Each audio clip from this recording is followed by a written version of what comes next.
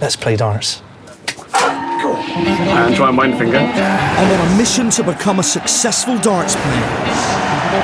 I need to get from armchair fan and total novice to genuine contender. Let's play darts. The learning curve will be steep and arduous, but with tips and inspiration from the masters, I feel I'm going to try and become a blade. Yeah. You're gonna treat you as a dart player and rip your head off. with practice and dedication, How much do I need to drink to take it from that to that?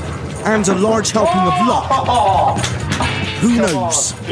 Give me 10 pints, then I'll show you some darts. You want to see some darts? In six weeks' time, I'll enter the International Darts Open, prove myself there, and I can turn professional. And the other pros better watch out. Watch out, Peter One Dart Manley. Watch out, Phil the Power Taylor.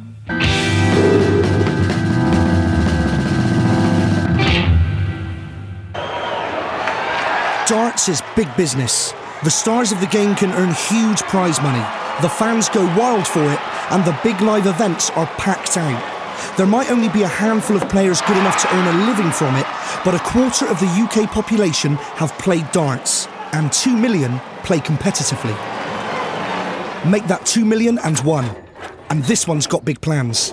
The International Open's coming up, and if I can go there and give a good account of myself, then I could turn pro. My first task is to find the dartboard I've had tucked away in my garage for years, nestling under some creosote. Mahogany finish. Hasn't been out at all, really. Well, once. Argus, they call it. Guess who? Argos. Stars and Stripes flights. I don't think they're tungsten, but they'll have to do. I'm not quite sure of the correct height from the f- floor. Are you? There should be a set of instructions, but I'm not sure if I kept the box. It is my favourite sport, and I know that darts is incredibly hard, and it's nowhere near as easy as it may appear to some people. And that's a solid concrete wall, it's not. But when you watch darts, you sort of think, I, I could do that. That bullseye, to me, looks just about level with the top of my nose. So that can't be far wrong, can it? I'm not sure about distance, the oche distance. About six feet is right, isn't it? Is that a paper tape measure? Yeah, it came with the board. There you go. That's the oche. And that actually seems about right. I've never found a sport that I'm, that I'm any good at, genuinely. If there is a sport out there that I can get up to a, a decent standard, then it would be darts.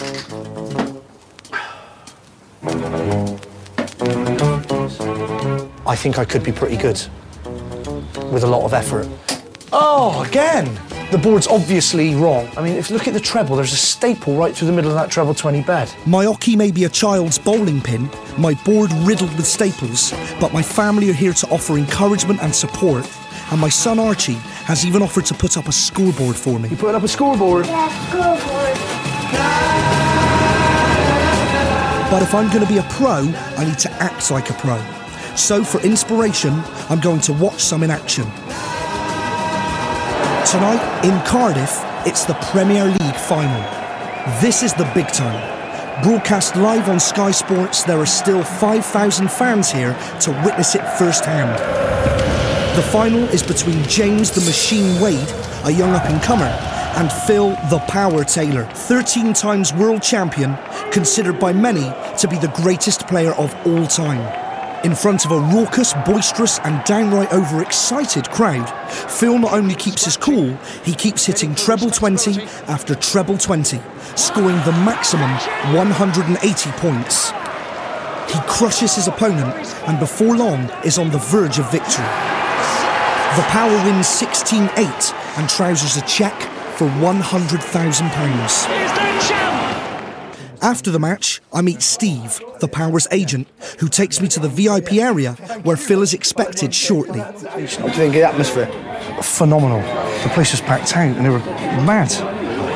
I mean, darts is, I think it's the last bastion of working man sport. If you're looking there tonight, you've got welders, builders, bricklayers. You have to experience playing in front of five, six thousand people to, to appreciate the, the, the pressure. You can't practice shitting yourself, as Phil says. That's one of Phil's great sayings. And Phil's right. You cannot practice shitting yourself. And he's the master at it. Not shitting himself. He is a monster, as Edith Piaf would say. A monster. He's the greatest sportsman in the world. I agree with you. So with Babe Ruth, yeah. Jesse Owens, Don Bradman, Pele. Pleasure to meet you. Hello, Mr. Taylor. How are you? I see really you every great Friday. to meet you. That was you going to take the piss out of me, isn't it? No, I'm not. do, that's what you no, do. I'm not. No, no, no, no, no. I swear to God, darts is my favourite sport, and I've grown up with darts. It's my favourite sport. Seriously? I swear to God, I have watched you a, a hundred times, two hundred times on TV, and I've never actually been there in the Oh, room. mate, You were. Come here. Okay, now, you're lopping me, mind blowing. you're lopping me through It's a masterclass. Phil, I'm going to try and become a. Play. Yeah, I'm going to try and play. I absolutely love it, Yeah? and I re- I'm giving it everything. I'm giving it absolutely Thank everything. you. It's like being a boxer. You got them against the ropes, and they- then all of a sudden they think I'm going to get beaten, and then they come out firing. You've just got to play better than what they do. Get the guard down there, whack them as hard as you can. I'm sorry, but that's what it's like. Yeah. You've got to get it in there. Perhaps some of Phil's magic would rub off on me. It's unlikely, I know, but I keep hugging him just in case. Guess who Dad met last night?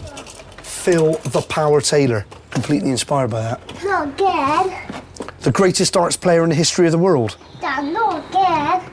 Well, first time I've met him. Uh, Meeting the power last night made me realise that if I'm going to go pro, maybe I should get a nickname too. It's an area ripe for creativity.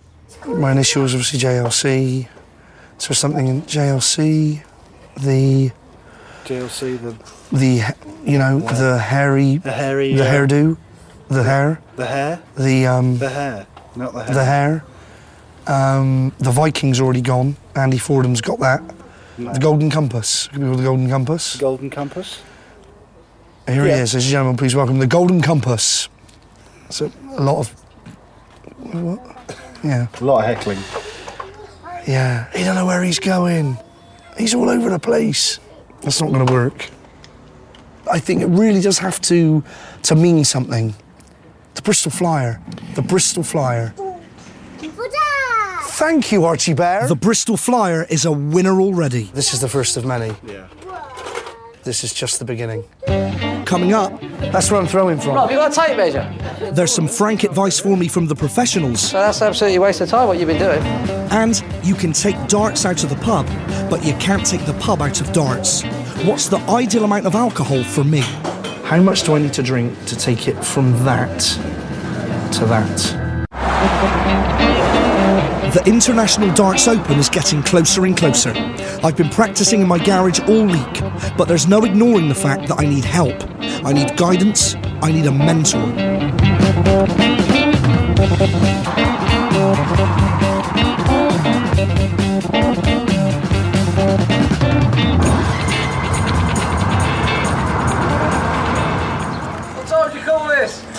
Hello, Keith. Uh, Keith Deller is a former world champion and has been a successful pro for many years. been kind to him today. It is again. Kind again. Am I too side on Keith? Should I? No, your throw's good. You- Thankfully, Keith's agreed to meet me at his local to give me a frank and honest assessment of my game.